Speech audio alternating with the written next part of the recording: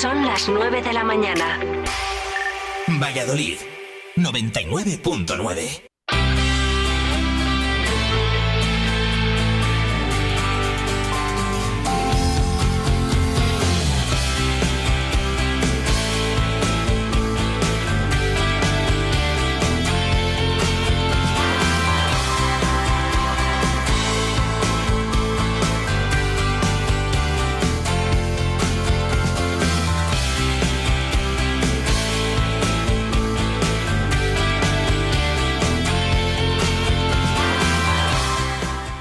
punto de la mañana abrimos segunda hora en Vive Valladolid, en eh, Vive Radio, repasando las noticias destacadas de esta jornada de lunes, día 15 de abril.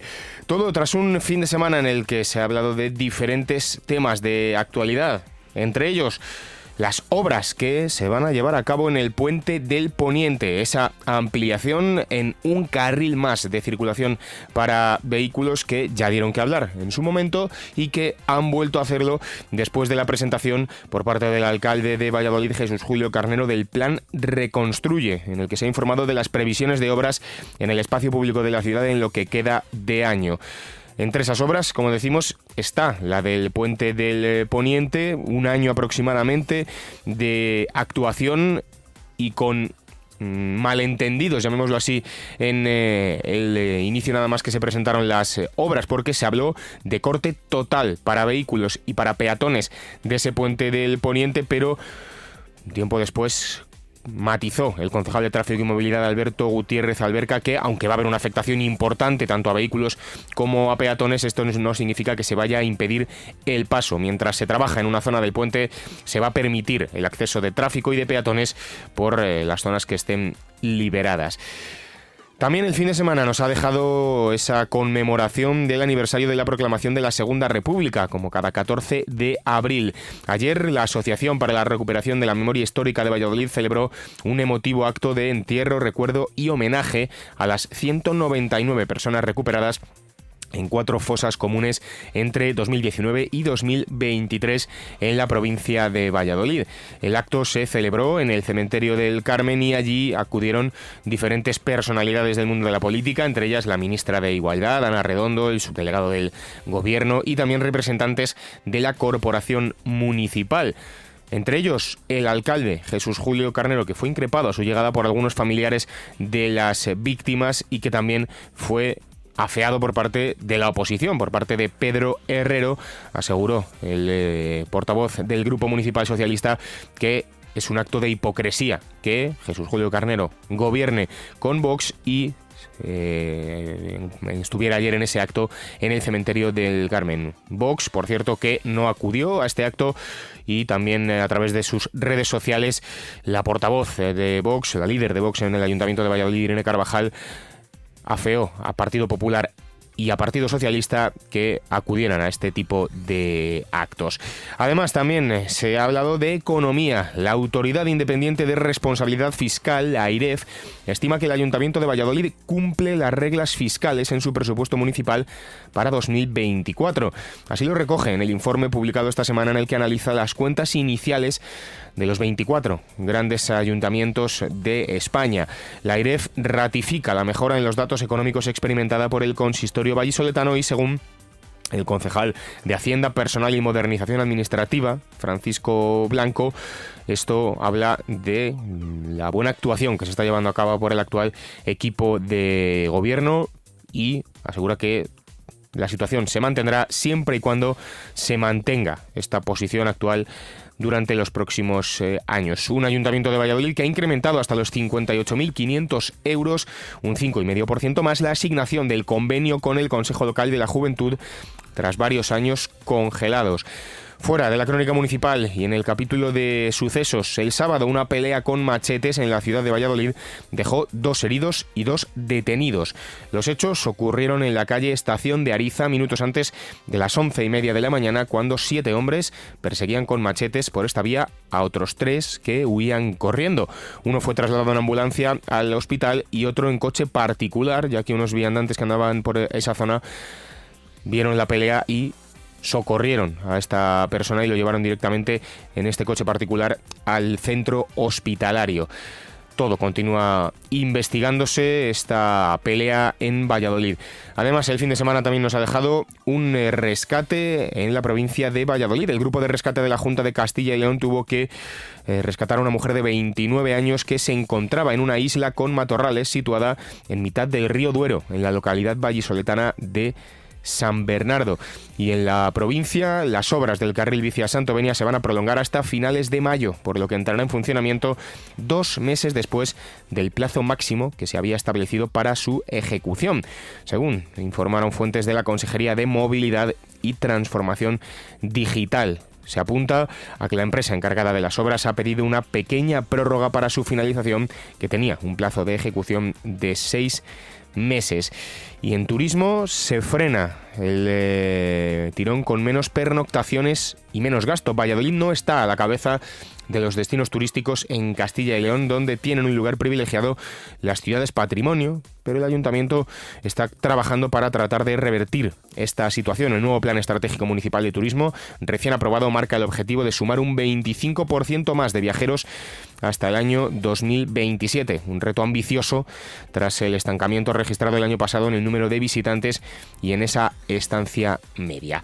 Y a esta hora de la mañana vamos a actualizar también la previsión meteorológica para las próximas horas en la provincia de Valladolid. Hoy, en la Agencia Estatal de Meteorología, nos espera Marta Alarcón. Marta, ¿qué tal? Buenos días. Muy buenos días. En la provincia de Valladolid tendremos intervalos eh, nubosos sin descartar algún chubasco disperso en el este durante la primera mitad del día. Las temperaturas máximas descenderán quedándose en valores de 23 grados en Medina del Campo y Tordesillas o 22 en Valladolid.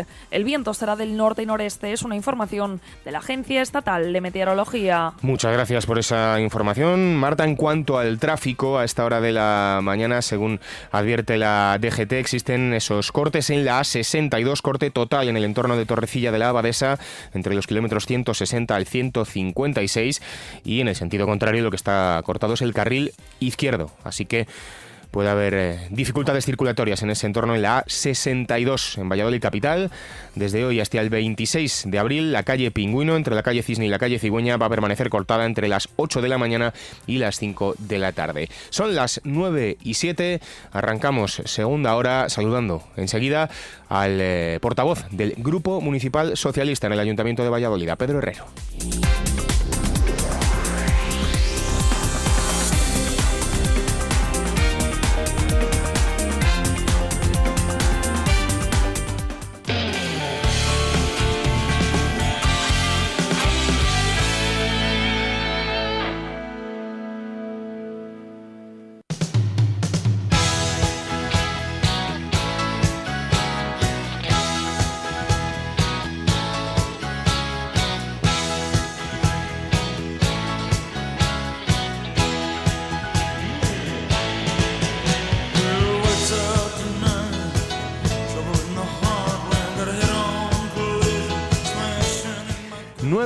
8 minutos de la mañana, como decíamos, vamos a comenzar esta segunda hora en Vive Valladolid, en Vive Radio, hablando con el portavoz del Grupo Municipal Socialista en el Ayuntamiento de Valladolid. Muchos temas a tratar que vamos a abordar durante estos próximos minutos.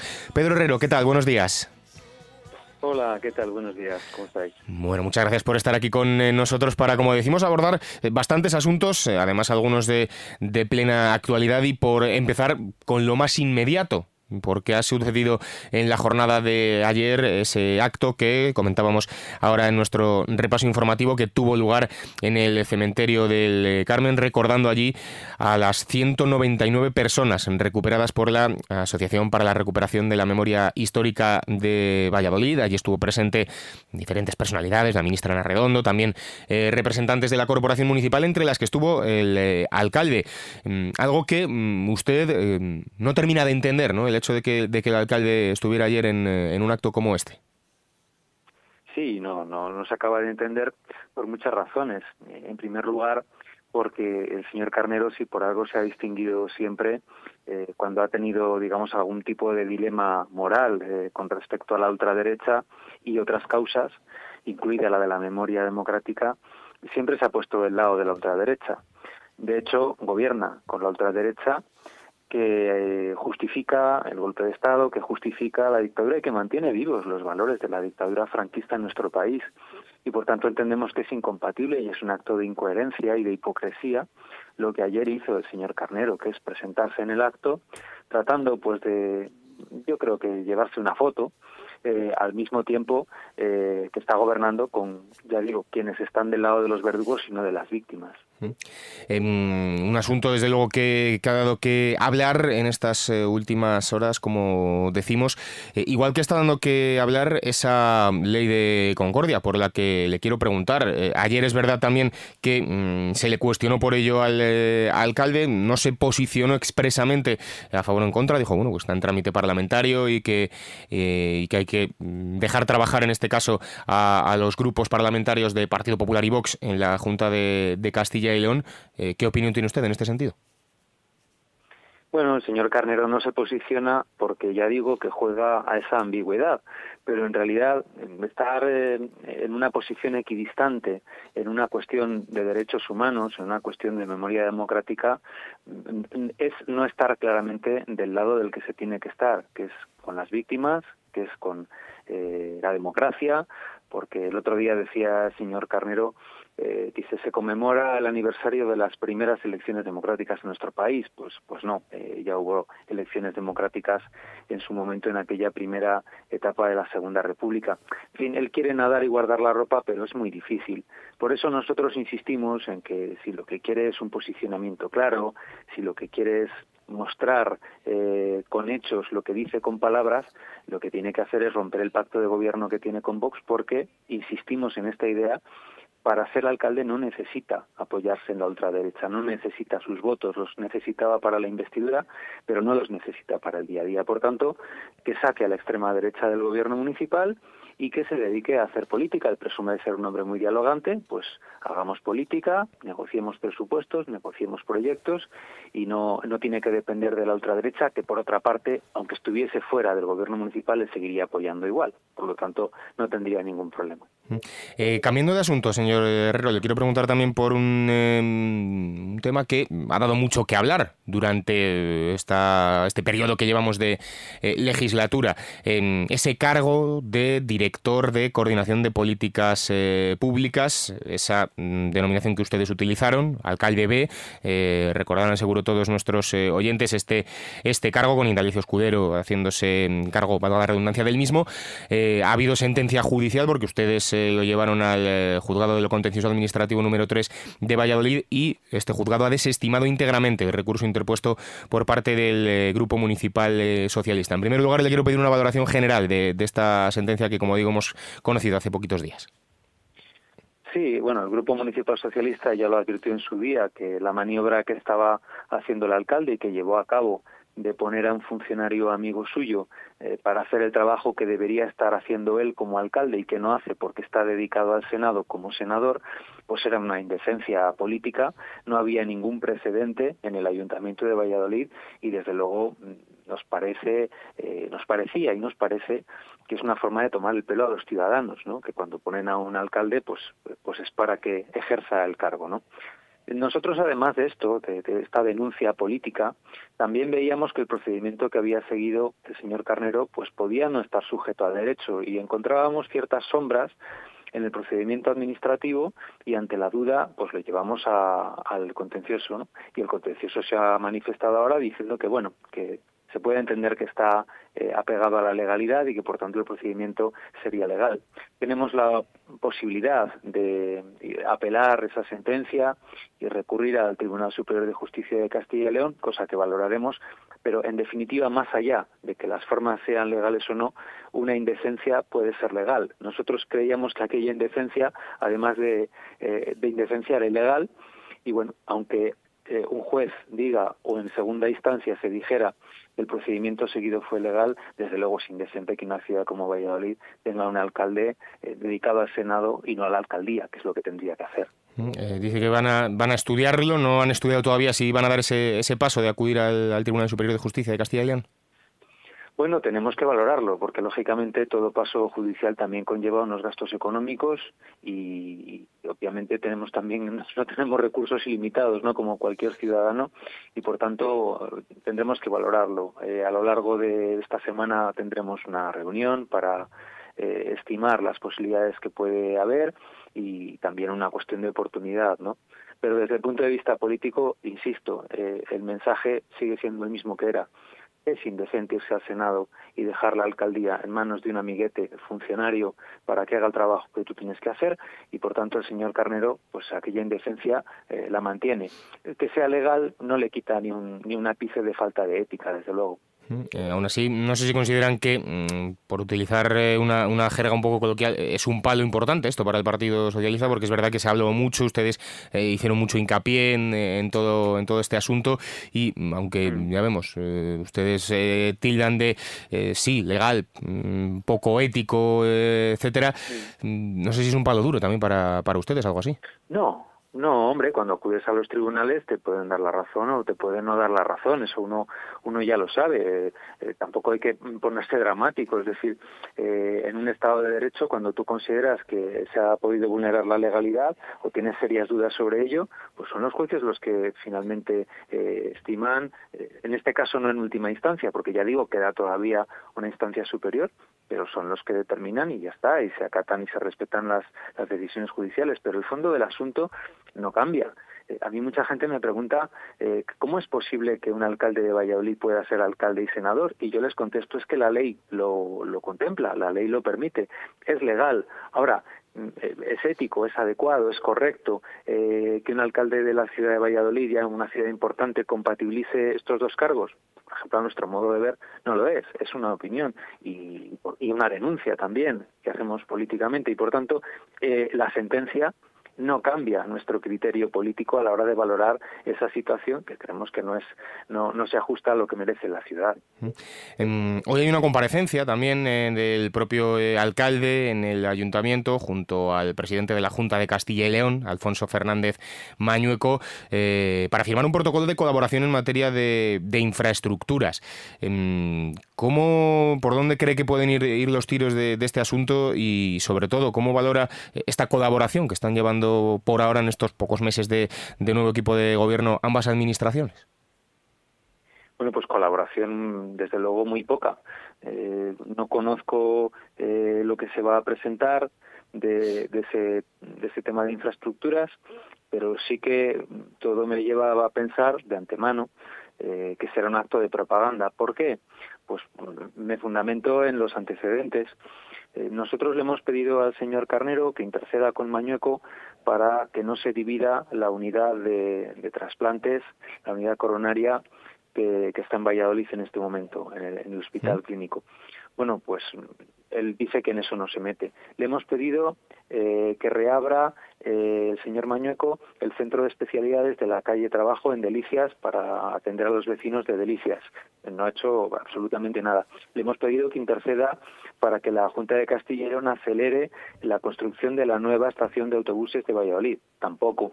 Le hemos pedido que interceda eh, para la fábrica de Findus, por ejemplo, que ocasiona problemas. En fin, una, una retaíla de asuntos sobre los cuales el, señor Mañueco no se mete. Eh, perdón, el señor Carnero no se mete. ¿no? Por tanto, hemos visto también en la semana pasada eh, presentar un supuesto plan de obras municipales que en realidad lo que meten son obras de otras eh, administraciones públicas, obras incluso que están ya terminadas, etcétera. En fin, por tanto, lo que cabe esperar, vamos a, vamos a esperar a ver qué dicen, ¿no? Pero lo que cabe esperar de antemano es que es un acto de propaganda.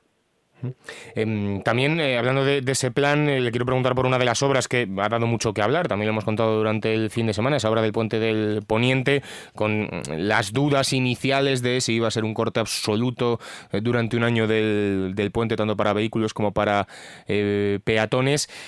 una obra que, es verdad, estaba en el programa electoral del Partido Popular, se prometió, se va a llevar eh, a cabo em, una de esas obras que ustedes eh, creo que no comparten eh, para absolutamente nada. ¿Por qué? Bueno, es obvio, es una obra que responde a una promesa electoral que en su día fijó el señor Carnero, porque él fue contando y fue alimentando la idea de que en esa zona se generaban muchos atascos, cosa que no ocurrió. Eh, esa es una zona eh, de entrada a la ciudad, la del puente de Poniente, que cualquiera que, pasara por el, por el puente podía ver que tenía su carril reservado para el transporte público, para autobús y para taxi, las bicicletas también lo tenían habilitado, había un carril que funcionaba y él ahora quiere habilitar tres eh, carriles para, para coches, ¿no? Eh, no hay ningún informe técnico que diga que es necesaria hacer esa obra. Y desde luego, tener durante todo un año cortado eh, el tráfico en, ese puente para que luego más coches puedan entrar, o sea, los principales beneficiados van a ser los coches, y además nada más cruzar ese puente se van a encontrar la zona de bajas emisiones ahí en Poniente, no tiene ningún sentido. Por eso entendemos que gastarse 5 millones de euros en eso, más la obra del carril bici, que ahora mismo está en la calzada Isabel la Católica y que quiere meter por abajo eh, entre los árboles haciendo un zigzag, un escalestric, gastarse otro millón de euros en eso es tirar el dinero de una manera, eh, en fin, innecesaria y crear problemas donde no los hay. Creemos que hay una, un rechazo vecinal eh, importante, creemos que los ciudadanos tampoco lo entienden y por tanto nosotros le, le, recordaremos en el próximo pleno al, al alcalde de Valladolid que de marcha atrás porque es un auténtico despropósito esta iniciativa. Eh, por ir terminando también, señor Herrero, no sé si mm, hay algo, eh, a su juicio, que rescatar en el plano positivo de estos meses que eh, Jesús Julio Carrano lleva al frente de la ciudad de Valladolid. Sin duda, sin duda. Lo más positivo es que no está cumpliendo lo que prometió y esto para nosotros es algo muy muy positivo, ¿no? Eh, positivo porque algunas de estas cosas que prometió, bueno, por ejemplo el tema del estadio, ¿no? ¿no? él dijo que, que, iba a ser un estadio, eh, lo que le dejamos sobre la mesa era la nueva ciudad deportiva, en fin, casi mejor que no haga nada, ¿no? Porque porque la verdad es que lo único que hace es empeorar. Dijo que iba a bajar los impuestos, tampoco lo ha lo ha cumplido. En fin, si es que no está haciendo nada. Cuando tú te subes a un tren en marcha, pues ese tren lleva una inercia, lleva una velocidad hasta que se para. Entonces, bueno, se puede decir que el tren sigue en marcha, pero coincidirán los ciudadanos que tienen ojos y ven eh, lo que va pasando mes a mes, que, ese tren se, va parando, ¿no? Se va parando porque no, no, no empuja, la locomotora no, no tira y cuando no tienes proyecto político porque no esperabas gobernar y prometiste muchas cosas que, que no estás cumpliendo, pues es lo que pasa, que al final el tren se va a parar, ¿no? Y bueno, pues eh, los ciudadanos valorarán eh, el resultado y valorarán eh, el trabajo de este, de este alcalde, que ya digo que es un alcalde ausente, que no está, que está dedicado al Senado y que nos ha dejado aquí a, un alcalde de funcionario para hacer su trabajo que tampoco que tampoco funciona. Bueno, pues eh, estaremos atentos por supuesto a toda la actualidad municipal, la seguiremos muy de cerca, seguiremos eh, contando siempre aquí en Vive Valladolid y le agradezco a Pedro Herrero, el portavoz del Grupo Municipal Socialista que haya estado aquí con nosotros. Que vaya todo muy bien, un saludo. Muchas gracias a vosotros, buen día. Bueno, pues eh, ahí estaba esa opinión del líder de la oposición en el Ayuntamiento de Valladolid sobre diferentes asuntos también de actualidad importantes también en un día en el que hay que estar también pendientes de lo que pase en el Ayuntamiento de Valladolid, como decíamos, con eh, esa comparecencia conjunta del presidente de la Junta de Castilla y León y del alcalde de Valladolid con el protocolo de colaboración en materia de infraestructuras que se va a firmar durante la mañana de hoy. Lo dicho, les iremos informando puntualmente durante el programa de todo lo que suceda. Son las 9 y 23 minutos de la mañana. Vamos a hacer una pausa. A la vuelta nos marchamos hasta Simancas. Está esperándonos ya el alcalde de esta localidad, Alberto Plaza. Vive Radio Valladolid en el 99.9 de tu FM.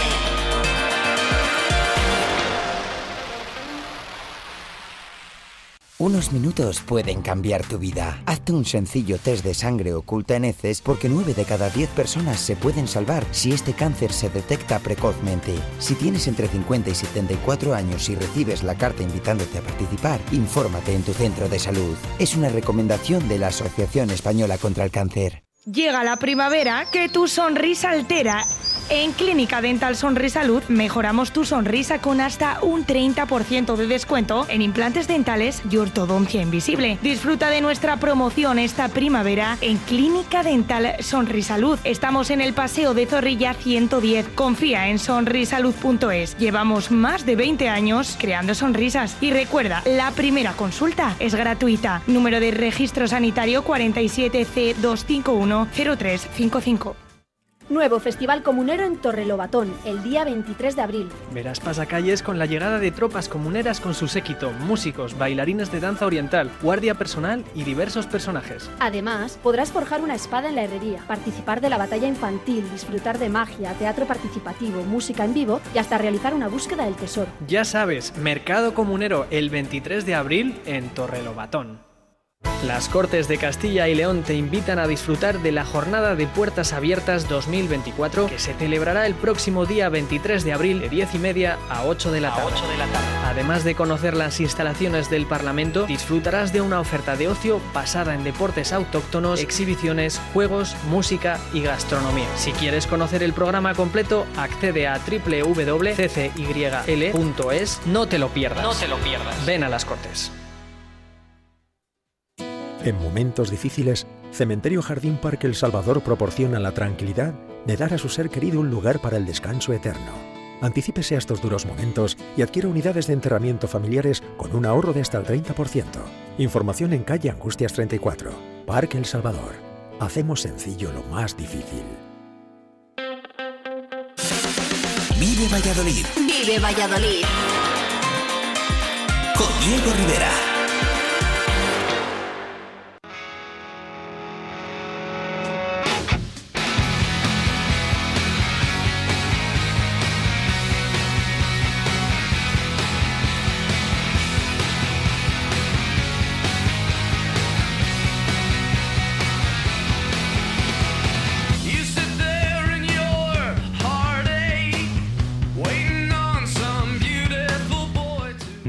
Y 26 minutos de la mañana. Continuamos en Vive Valladolid, en Vive Radio 99.9 de la FM y www.viveradio.es. Nos vamos a marchar, como decíamos antes de esta pausa, a la provincia de Valladolid. Vamos a marcharnos concretamente a Simancas porque hoy es un día importante. Hoy inician, comienzan unas eh, labores relacionadas con eh, una obra que es fundamental también para el municipio. Ya saben, obras en el puente de Simancas y hoy se van a dar ya unos pasos iniciales en este sentido. Para conocer más detalles, saludamos a esta hora de la mañana, 9 y 27 minutos, al alcalde de Simancas, que ya lo saben es Alberto Plaza. Alcalde, ¿qué tal? Buenos días. Hola, buenos días. Bueno, Muy bien. muchas gracias por estar con nosotros en un día, como decimos, importante porque eh, es una especie de primer paso de algo mucho más grande que va a ir aconteciendo durante el tiempo, ¿no? Pues sí, en realidad es la segunda fase de las obras del puente. Ya el verano pasado tuvimos una primera intervención desde la zona eh, del Pinar hacia, hacia el pueblo, hacia el casco histórico, y esta, y esta fase que empieza hoy es la segunda que tiene los primeros trabajos como objetivo el comunicar eh, el municipio a través del Camino del Rabil en mejores condiciones, en mejores circunstancias con el puente nuevo. De esta forma vamos a desviar el tráfico, sobre todo peatonal y de ciclistas, del puente antiguo, del puente medieval, para intervenir a partir del 3 de junio ya de forma eh, principal en este, en este monumento. Unas obras muy necesarias gracias a la Junta de Castilla y León, que tomó buena nota de nuestras reclamaciones, de nuestras reivindicaciones, porque las circunstancias del, pue- del puente pues no eran las mejores. Un puente histórico, un puente que había tenido tráfico hasta hace aproximadamente 15 años y que necesitaba una importante labor de rehabilitación eh, y de mejoras. Eh, ¿Cómo se van a desarrollar estas obras? En cuanto a plazos me refiero sobre todo, no sé cuánto tiempo eh, se estima que van a poder eh, durar y cuándo va a estar todo finalizado ya. Bueno, eh, lo primero que tenemos que decir es que son unas obras eh, delicadas porque tienen una intervención en lo que es la propia infraestructura, en lo que es la cimentación del puente.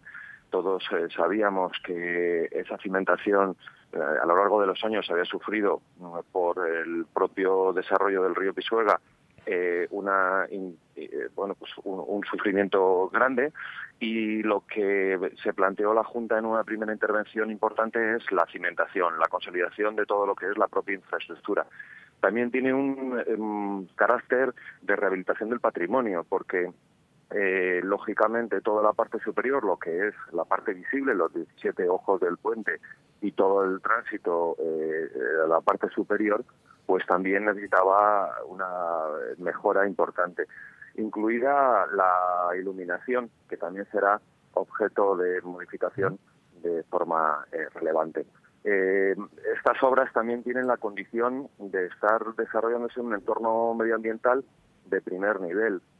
Por tanto, ha habido que conjugar la rehabilitación del patrimonio con la preservación eh, del anidamiento de especialmente aves que en la zona del río Pisuerga, pues eh, eh, en determinados momentos del año, pues necesitan ser preservadas y cuidadas. Em, todo esto nos lleva a un desarrollo de obra desde el 3 de junio, que es cuando va a empezar efectivamente la intervención nueva en el puente, hasta finales de año. No podemos determinar, según los técnicos todavía, la fecha exacta, pero estamos seguros que en todo este periodo, en esos aproximadamente seis meses, se desarrollará esta obra. Esperamos que, eh, como hasta ahora, y como terminación de la misma, pues eh, todo eh, se produzca con normalidad. Eh, y le quiero preguntar también, aprovechando eh, su presencia aquí en, eh, en estos micrófonos, alcalde, por un proyecto que es verdad que recuerdo cuando hablamos ya con usted hace, hace unos cuantos meses, que reivindicaba el municipio de, de Simanca. Recuerdo que hablábamos de ese tercer carril en la A62, eh, sí que se aprobó, el proyecto está aprobado. No sé qué información tiene usted en, en este sentido de cómo marchan las novedades de algo que ustedes siempre ponen encima de la mesa tan importante para, para Simancas. Pues la novedad es que no hay novedad. Por desgracia, eh, los presupuestos generales del Estado no contemplaron una partida lo suficientemente importante como para albergar la esperanza de que esta obra vaya avanzando. Eh, la novedad es que una vez aprobado toda la tramitación administrativa, una vez que se están dando los pasos de aprobación eh, del proyecto del tercer carril y también con algunos recursos que en estos momentos están ante la Audiencia Nacional, eh, pero con independencia de los mismos, nuestra reclamación sigue siendo la misma. Necesitamos dinero eh, desde los fondos estatales, desde la Administración General del Estado, de la demarcación de carreteras, el Ministerio de Fomento, para poder desarrollar este carril, tercer carril tan importante. Como todos conocemos y sufrimos, en los periodos mm, de vacaciones, en los periodos en los que hay más movimiento de vehículos, eh, precisamente por la 62, pues es eh, tremendo no solo los parones, sino los accidentes que se vienen produciendo en los tramos entre Tordesillas y Simancas y, Tordesi- y Simancas y el propio eh, Valladolid. Y eh, esta es una vía principal con una gran carga de tráfico. Necesitamos que el Gobierno de España tome de verdad nota, tome conciencia y pre- prevea en los presupuestos generales del Estado las partidas correspondientes. No sé si la presencia en este caso de Óscar Puente al frente del Ministerio vallisoletano cree que puede favorecer algo así. Pues desde luego Óscar Puente conoce bien el proyecto, igual que lo conocía con anterioridad Javier Izquierdo, que además de vallisoletano eh, fue también secretario de Estado en estas funciones de carreteras, pero ni uno ni el otro han conseguido, por lo menos hasta el momento, avanzar. Claro que tenemos que pensar que el que alguien conozca y reconozca eh, la necesidad, eh, pues eh, pueda tener un matiz importante para impulsar algo a favor de su tierra. Y así esperemos que comprenda eh, Oscar, eh, el ministro Oscar Puente, pues la necesidad de avanzar en este proyecto. Al final hay una parte que es fundamental, que es la voluntad política, que no es eh, ni más ni menos que lo que se debe reflejar en los presupuestos generales del Estado. Esta es nuestra reivindicación, esta es nuestra, nuestra petición al ministro, claro. Bueno, pues veremos en qué queda todo y si hay avances en este proyecto, como nos eh, contaba el alcalde, importante para Simancas. Estaremos siguiéndole la pista. Alberto Plaza, alcalde, muchas gracias como siempre por haber estado con nosotros y que vaya todo muy bien. Un saludo. Muchas gracias. Buena semana a todos. Pues eh, ahí estaba también eh, el alcalde de uno de los municipios importantes, también el Alfoz de Valladolid, como es eh, Simancas. Y de Simancas vamos a marcharnos a otro punto, ahora, enseguida de la provincia de Valladolid, porque hay que hablar también de un conflicto laboral abierto en una empresa importante. Enseguida lo contamos.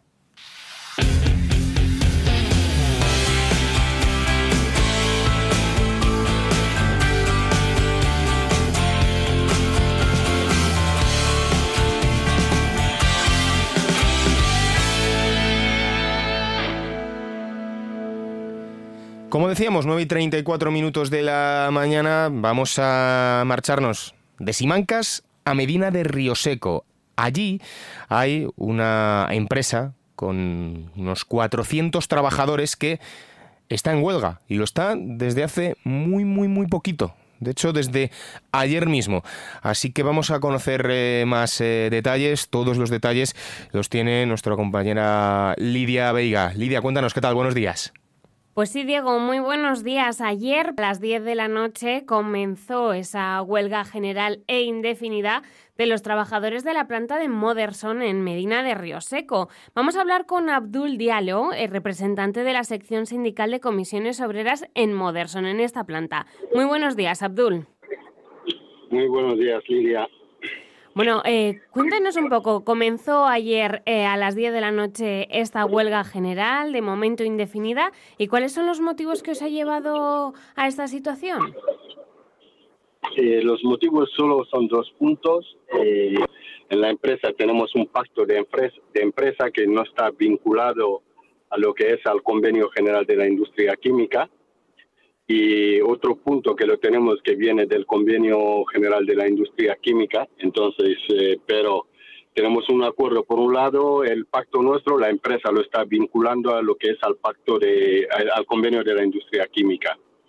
Eh, los puntos que son el del pacto nuestro interno, hablamos, teníamos un, este pacto caducó en el año 2020, en el que teníamos una acordada y pactada para que la empresa hiciera una contratación a nivel interno de fábrica para facilitar la contratación. Entonces, una subida de un 0,5 para el año 2021, un 0,5 para el año 2022 y un 0,5 para el año 2023 eh, como subida salarial. Eh, entonces, pa- luego eh, la empresa ahí nos comenta que ahora que quiere detraerlo a la subida que ha habido, que seguramente habéis oído hablar del convenio de la industria química, que ha habido un 10,3% eh, de, eh, de subida salarial por la revisión salarial. Y aquí, entonces nosotros le hemos dicho que no, una cosa no tiene nada que ver con la otra, porque la negociación del convenio de la industria química es a nivel nacional y no está vinculado con nuestro pacto inter- interno. La empresa dice que sí que lo puede detraer, que, y es lo que ha hecho, lo ha detraído. Y nosotros hemos dicho no estamos de acuerdo. Y luego a las nuevas incorporaciones no les está aplicando el plus convenio mínimo garantizado que tiene uno cuando entra en la empresa. Ejemplo, eh, si yo tengo un grupo, es un ejemplo sobre mí, ejemplo, un grupo profesional 3, tengo un plus convenio del 18%, la persona que entre de, este, de esta categoría nueva, nueva incorporación en la fábrica, lo que tiene como mínimo es este, este, este plus convenio del 18%. Lo que pasa, la empresa le está aplicando por debajo de este, de este plus convenio, acogiéndose al pacto que ya no está en vigor, que caducó en el año 2020. Me imagino que... Sí, perdón, perdón. No, no, sí, bueno, lo que te digo que nosotros como el pacto no lo denunciamos nosotros en su día, encima la propia empresa denunció el propio pacto. Entonces, cuando lo denuncia, tiene que haber una nueva negociación, tampoco hemos tenido otro tipo de negociación desde entonces. Y aquí el convenio de la industria química sobre el 10,3 que nos detrae el 1,5 de estos tres años, entendemos que es totalmente injusto porque no tienen, no están vinculados la- los- las dos partes, es el convenio química y pacto interno de empresa. El pacto interno de empresa lo que hace es mejorar el, lo de la industria química, nuestro convenio de la industria química. Y ahí estamos eh, pendientes porque nosotros no hemos querido generar ningún conflicto. Llevamos años hablándole que tiene que ajustar las nuevas incorporaciones y cuando ha salido la revisión salarial, se lo hemos dicho en varias reuniones, no nos ha hecho caso. Hemos denunciado, hemos ido al CERLA y no ha habido acuerdos. Hemos denunciado a la inspección de trabajo. El inspector nos ha dado la razón diciendo que eso se tiene que aplicar eh, como está acordado, no mezclando ni vinculando los dos puntos. Pero la empresa hace caso omiso porque la dirección actual que tenemos pues no quiere entender eso, quiere tener ultraactividad con el, con el pacto nuestro y sería ilegal si nos acogemos a la ultraactividad porque está ahora mismo eso es ilegal, totalmente ilegal. Pero si la empresa ha sido quien ha denunciado este convenio, ¿cuáles son las soluciones que ha puesto encima de la mesa? ¿Solo ese, eh, eh, esos pactos y seguir eh, trabajando? No, la empresa lo que ha puesto sobre la mesa es que está utilizando estos dos puntos para negociar y no es una cuestión de negociarlo. El 10,3% es aprobado por nuestros sindicatos a nivel estatal, a nivel nacional, ¿vale? Y el pacto interno de empresa es algo que hemos firmado en el, año 2018, que hemos llegado a acuerdo entre la empresa y los trabajadores. Entonces no es algo que tenemos que negociar. Y lo quiere utilizar para que haya una ultraactividad de la que nosotros no estamos de acuerdo, porque si aceptamos esta ultraactividad, estamos vulnerando el artículo 29 de nuestro convenio de, de nuestro convenio de la industria química porque en este convenio lo que nos dicen es que todas las personas, trabajadores, ETTs que entran en nuestra empresa tienen el derecho de cobrar lo mismo que los trabajadores de la planta. Y lo que nos dice con esa ultraactividad sería que estas personas cuando entren cobrar menos y con el riesgo también en el futuro de hacer contratos que son contratos basura, porque toda la gente que entrarían con esa ultraactividad cobrarían mucho menos que la gente de planta y eso también, pensándolo mal, puede llevar a despidos de gente que tienen sueldos un poco más altos para quedar a estas personas, a esas nuevas incorporaciones. La huelga comenzó a las 10 de la noche, hace no hace ni prácticamente 12 horas. Eh, ¿Cuáles son los siguientes pasos que vosotros vais a dar o en qué momento vais a tener la oportunidad de negociar con vuestra empresa?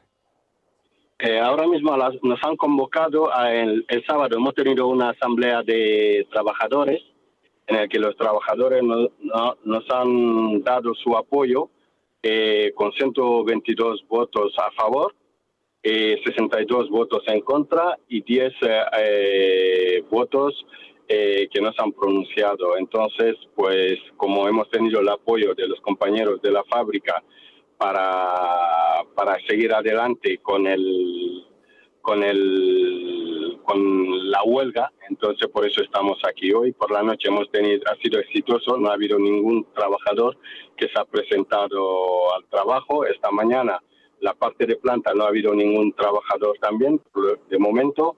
Eh, la parte técnica ha habido dos, tres, cuatro personas que han entrado y la empresa nos ha convocado una reunión a las 11 de la mañana. Bueno, para nuestros oyentes que a lo mejor no, no conozcan esta empresa, estamos hablando de Moderson en Medina de Río Seco, que sois 400 empleados. Sí, somos 400 empleados, sí. Bueno, un, un éxito si, si los números han bajado mucho esta, esta noche, un éxito para todos los, los convocantes. Me imagino que muy pendientes de esa próxima negociación que se va a desarrollar a lo largo de la mañana y no sé si hay algunas esperanzas de, de que se vaya a desconvocar próximamente o si la empresa no va a ofrecer otras soluciones. Eh, nosotros, eh, primero, no hemos generado ningún conflicto, no queremos ningún conflicto. Eh, lo que queremos es la estabilidad y la tranquilidad. Entonces, lo que estamos pidiendo a la empresa es que cumple con los acuerdos firmados. Si hay unos acuerdos firmados, hay que cumplirlos. Si no nos sirve de nada sentarse alrededor de una mesa y negociar y firmar. Si se sienta alrededor de una mesa, se negocia y se firma y luego la empresa lo usa como papel mojado, entonces perdemos el tiempo todos. Entonces eso genera también problema. Pero nosotros eh, queremos recalcar y insistir sobre ello. No hemos generado ningún conflicto y lo que ha, lo ha generado la empresa y, y ahí también lo que no la empresa lo que no puede pretender es utilizar un acuerdo ya existente para negociar algo que a él le interesa.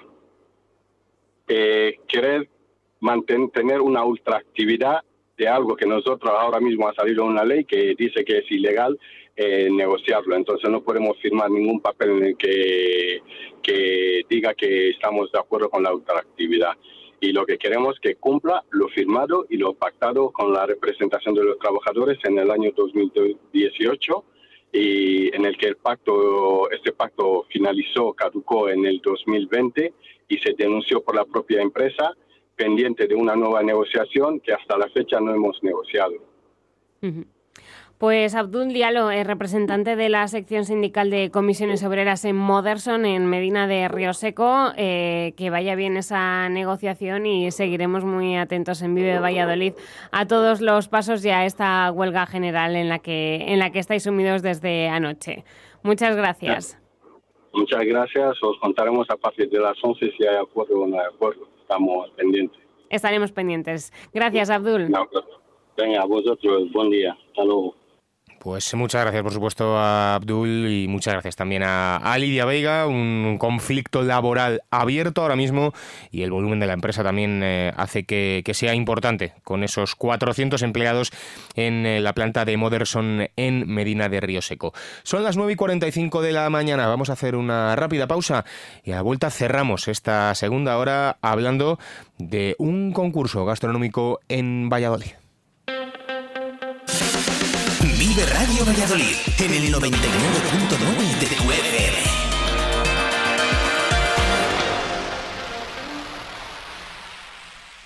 Las Cortes de Castilla y León te invitan a disfrutar de la Jornada de Puertas Abiertas 2024 que se celebrará el próximo día 23 de abril de 10 y media a 8 de la tarde.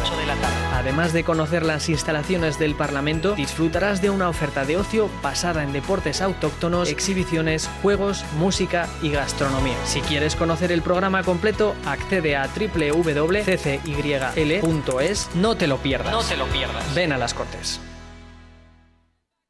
Compratusuerte.com, la forma más fácil, rápida y segura de comprar todos los juegos del estado cada semana. Solo tienes que crearte una cuenta de forma individual o en grupo si vais a jugar el mismo número. Juega en compratusuerte.com con la total garantía y seguridad que te ofrece la Administración Oficial de Loterías La Preferida en la calle Claudio Moyano 28 Valladolid. Compratusuerte.com donde te espera el premio.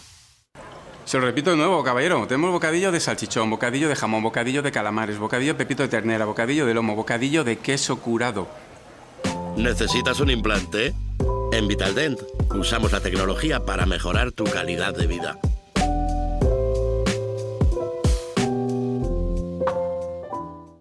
En momentos difíciles, Cementerio Jardín Parque El Salvador proporciona la tranquilidad de dar a su ser querido un lugar para el descanso eterno. Anticípese a estos duros momentos y adquiera unidades de enterramiento familiares con un ahorro de hasta el 30%. Información en calle Angustias 34. Parque El Salvador. Hacemos sencillo lo más difícil. Nuevo Festival Comunero en Torrelobatón, el día 23 de abril. Verás pasacalles con la llegada de tropas comuneras con su séquito, músicos, bailarines de danza oriental, guardia personal y diversos personajes. Además, podrás forjar una espada en la herrería, participar de la batalla infantil, disfrutar de magia, teatro participativo, música en vivo y hasta realizar una búsqueda del tesoro. Ya sabes, Mercado Comunero el 23 de abril en Torrelobatón. Vive la información con Vive Radio Valladolid. Vive Radio Valladolid. Con Diego Rivera.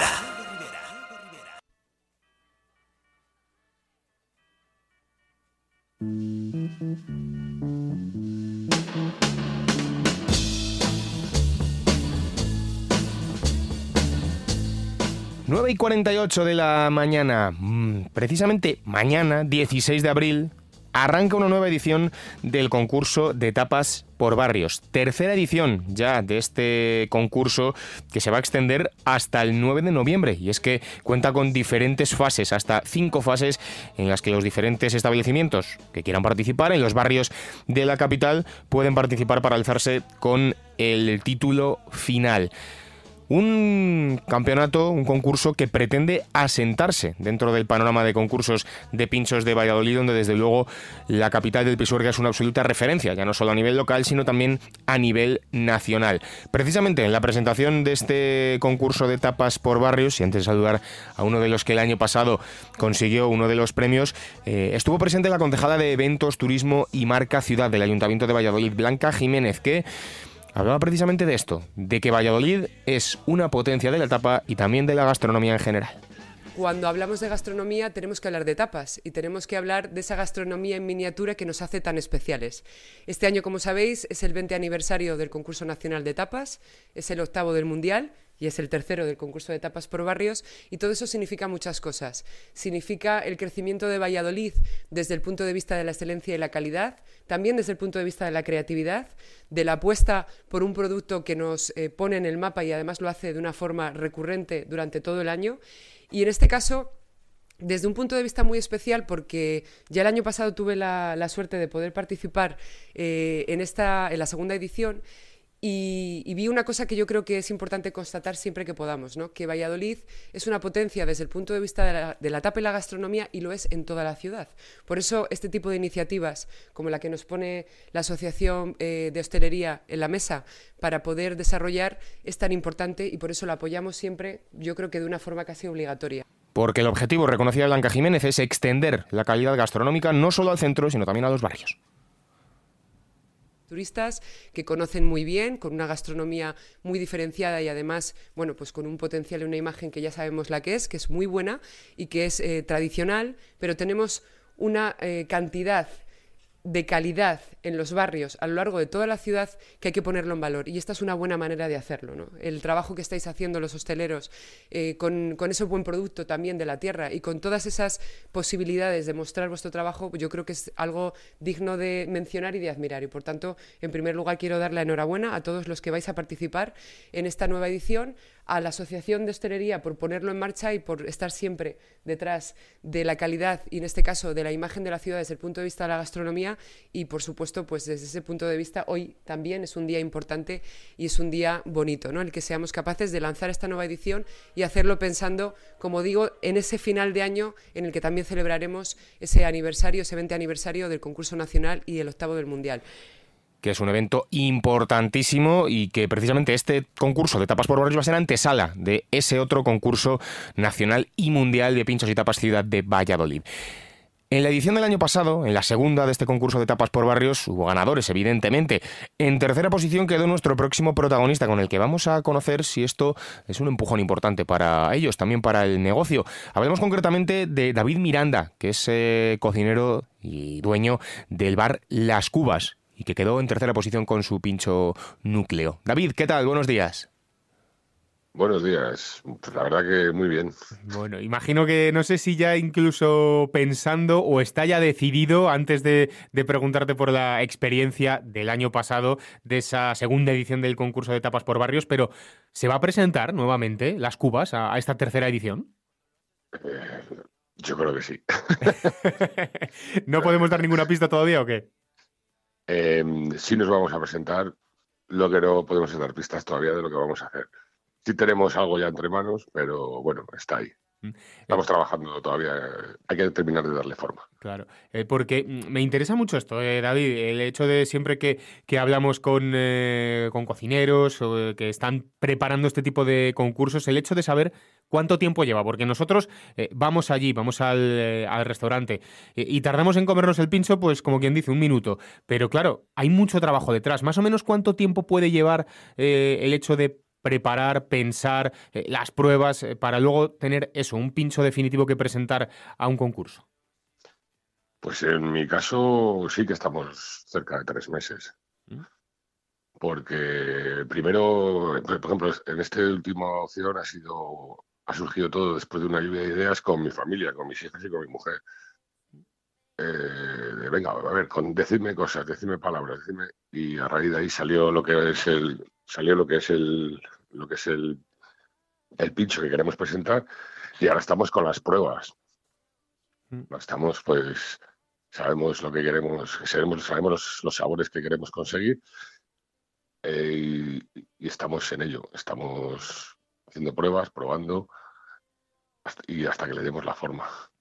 Claro, porque esto es un poco prueba-error. Al final tú puedes tener una cosa en la cabeza y dices, yo creo que esto puede funcionar mejor de esta forma, pero luego eh, quizá la cosa va por otra. O sea, que al final también es mucho eso de, de- de Claro. tirarte a la piscina y, ver, esto funciona, esto no, esto pues, al final es un Claro, prueba. de hecho, el año pasado, yo siempre digo, tengo el mismo ejemplo, el año pasado empezó siendo algo totalmente distinto a lo que al final fue. ¿Sí? Totalmente distinto, no tenía nada que ver. Y bueno, pues al final es, una, es un trabajo de ir haciendo pruebas, ir utilizando a la gente que tengo alrededor de conejillos de indias, un poquito, y dando a probar. eh, yo mismo, por supuesto, vamos probando. Y, y luego, pues las texturas, eh, tienes que probar. varias. Nosotros además trabajamos sin gluten, entonces em, siempre se nos complica un poquito el tema de las texturas, el tema de tal. que- entonces, eh, te- tienes que darle más vueltas normalmente de, hasta que llegas a algo que dices, esta es la definitiva.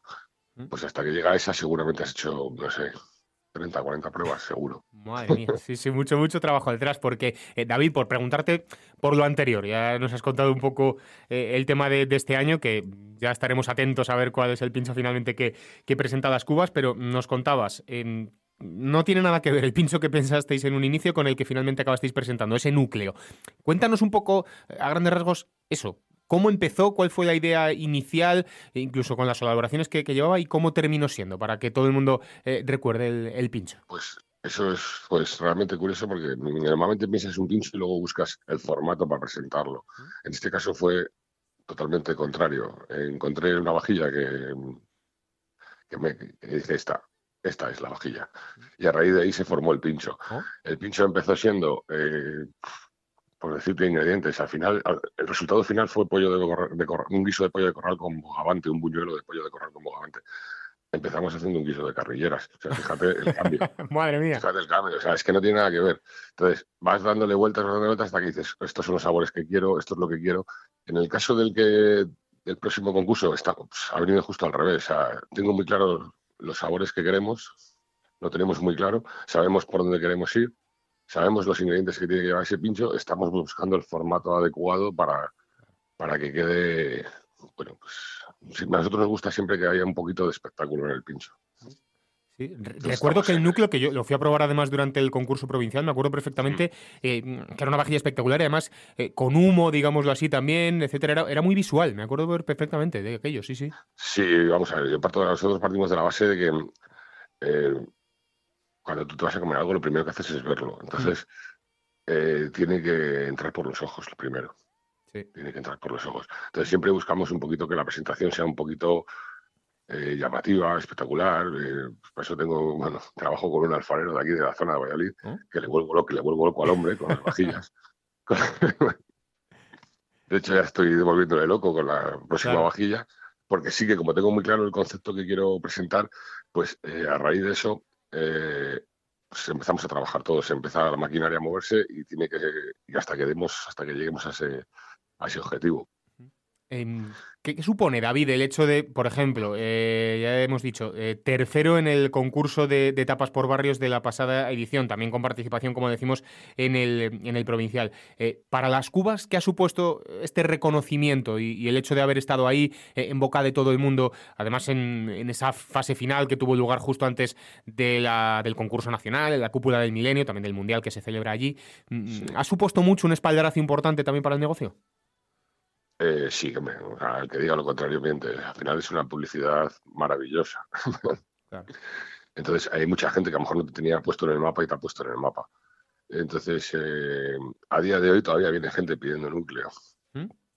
¿Y lo tenéis sí en la carta? Sí que es verdad que nosotros ahora mismo no lo tenemos porque, bueno, supone un- ciertas elaboraciones y si no tiene una rotación real, el- es, es una pena porque acabas tirándolo y es una pena. Entonces, no, no puedes, para no llegar a eso, pues lo tengo en momentos puntuales que sí que procuro cuando los voy a tener, pues anunciarlo en redes sociales o en, ¿sabes? Es decir, pues venga, y en cartelería o lo que sea.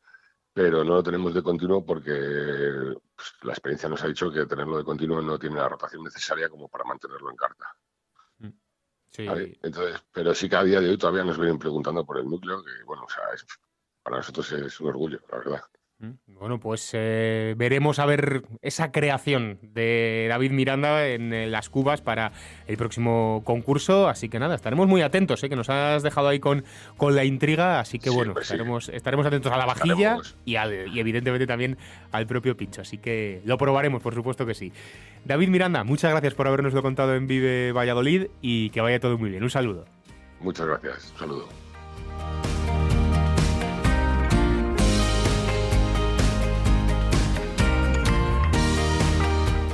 Pues nos estamos acercando a las 10 de la mañana, quedan segundos para hacerlo, así que es momento de saludar a Lidia Veiga. Lidia, buenos días. Muy buenos días, buenos días a todos. ¿Qué tal? Muy bien, aquí empezando el lunes, empezando la semana. Ha sido buen fin de semana, ha hecho bueno sí, y sí, eso sí, se mucho. nota. Hombre, sí, sí, hemos disfrutado mucho, así que a ver ahora sí, sí, al buen tiempo que, que yo creo que es lo que, lo que nos gusta a todos. Así Eso que ahora nos cuenta Lidia enseguida qué asuntos vamos a tener desde ahora y hasta las 12, porque continúa, vive Valladolid, aún mucho tiempo por delante.